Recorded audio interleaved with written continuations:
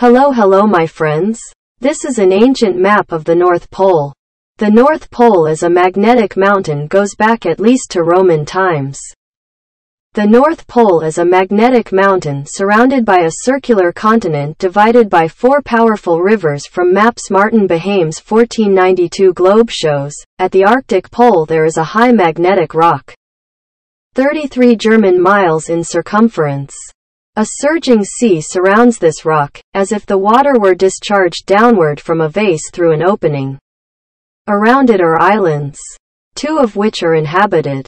Mercator's map from 1595 showing the Arctic continent, with the Rupes Nigra et Altissima, black and highest rock, at its center. The rock is the site of the North Pole, captioned as the POLVSARCTICVS. Gerardus Mercator's world map of 1569 reflects his reading of Cnoyen's Itinerarium. It also features a marginal note alluding to the Franciscans' discovery. We have taken the Arctic geography from the Itinerarium of Jacobus Cnoyen of The Hague, who makes some citations from the Gesta of Arthur of Britain. However, the greater and most important part he learned from a certain priest at the court of the King of Norway in 1364.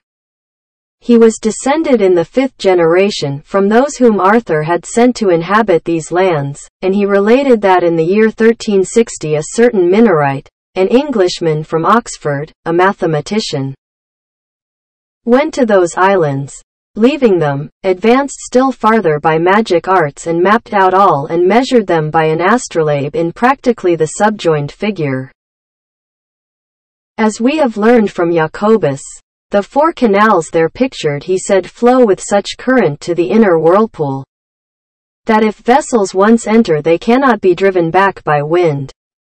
The Arctic map inset on Mercator's 1569 world map was the prototype for the influential and widely circulated Septentrionalium Terrarum of 1595, posthumously published by his son, and the maps in Ortelius's Theatrum Orbis Terrarum of 1570.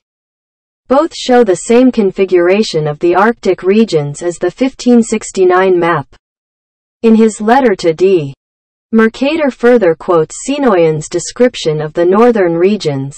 In the midst of the four countries is a whirlpool into which there empty these four indrawing seas which divides the north. And the water rushes round and descends into the earth just as if one were pouring it through a filter funnel.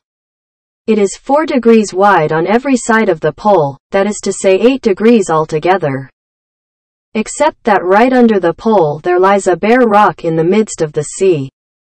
Its circumference is almost 33 French miles, and it is all of magnetic stone. And is as high as the clouds.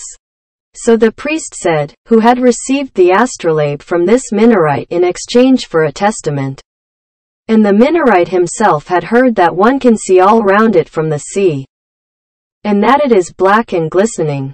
And nothing grows thereon, for there is not so much as a handful of soil on it, more interesting to modern researchers are the people the friar encountered. Pygmies, who may well be identical with the Skraelings referred to in Old Norse texts about Greenland, predecessors of the modern Inuit. The John Day letter in 1956 A letter referring to the existence of the book was found in the Archivo General de Simancas, Spain, from the English merchant John Day to the most magnificent and most Worthy Lord, the Lord Grand Admiral, presumably Christopher Columbus. Written in either December 1497 or January 1498, John Day says, Your Lordship's servant brought me your letter. I have seen its contents and I would be most desirous and most happy to serve you. I do not find the book Inventio Fortunata, and I thought that I, or he, was bringing it with my things, and I am very sorry not to find it because I wanted very much to serve you. I am sending the other book of Marco Polo and a copy of The Land Which Has Been Found by John Cabot.